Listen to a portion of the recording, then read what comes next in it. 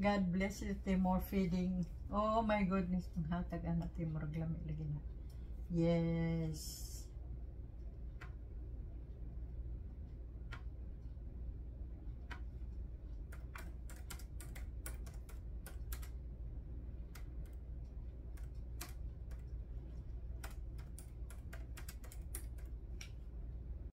That's my anti-rad eyeglasses. These are different lengths of selfie sticks. That's my cell phone stand. This is my laptop. That's my big screen or television screen. I use it. My microphone and my headset or earplug. In vlogging, we need tools to make a good vlog. One is the cell phone, which is very, very, you know, accessible when you take videos. If you can buy a camera, that would be best. But cell phone is, is fine if you know how to use it.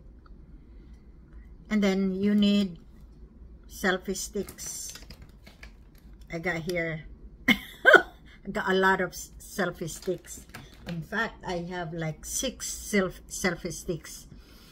And you need to have a computer. That is very, very necessary when you are making vlogs because that is where you would do your editing.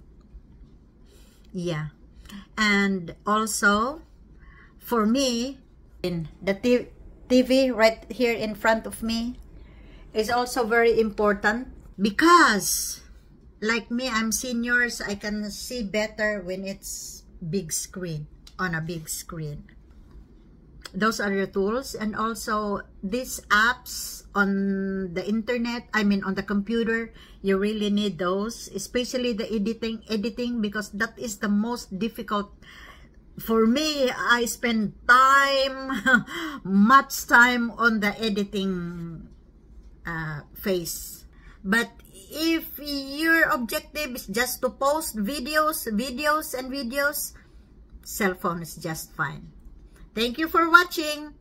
That's my, uh, how I learned from my vlogging experience. Thank you for watching. Seniors Life in America here and I would like you to continue watch my videos. You will get something from there.